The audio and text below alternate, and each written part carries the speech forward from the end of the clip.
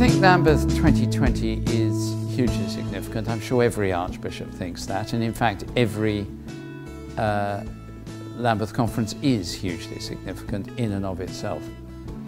But if you go back 100 years, you go back to the Lambeth Conference of 1920, that out of its vision to engage with the world and with other churches, contributed very significantly to resetting the agenda for the church globally in the 20th century. The key text we'll be looking at from the scripture will be the first letter of Peter, and uh, that leads us into all kinds of key themes. It leads us especially into th the theme of being God's people in God's world, for God's world.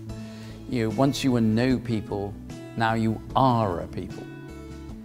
God has created us, made us, changed us, uh, transformed us, and we are to be key in his transformation of the world around us.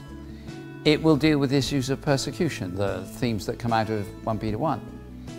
It will deal with themes of witness that come out of 1 Peter 3 and 4.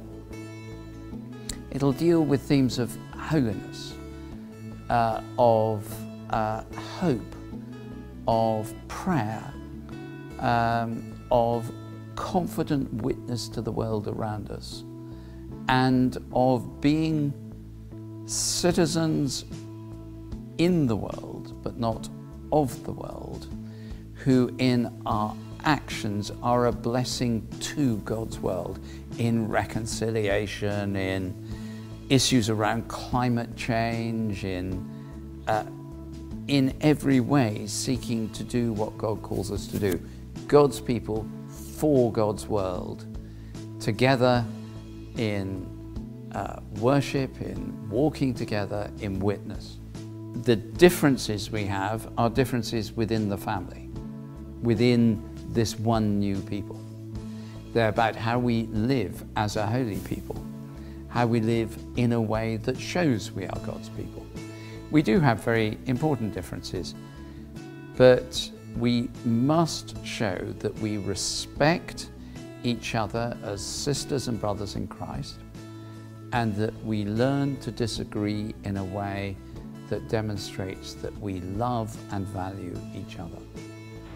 Well, the Lambeth Conference in 2020 is mainly held down around Canterbury at the University of Kent at Canterbury. Uh, quite likely to be one uh, London day, and we're working on the plans for that, but it will include coming to Lambeth Palace. And uh, that'll be a really exciting event. Uh, the whole conference looks immensely exciting. You have to remember when we're looking at the programme that uh, I've never been to a Lambeth conference because I'm a sort of baby bishop really. So that uh, I'm fascinated by seeing how it's developing. We have what's called a design group with people from all around the communion, all sections of the communion, of, and it also includes some uh, bishop spouses because of course uh, uh, bishop spouses will be invited as well as bishops. And there will be special sessions for the bishop spouses and joint sessions. Um, and uh, the design group therefore encompasses all the ranges of view within the communion. But whatever views we come with, we come to be under the authority of Scripture and inspired by the Spirit. Quite rightly and very importantly, the program centers around uh, studying the Bible together, reading the Bible together, listening to God, praying together.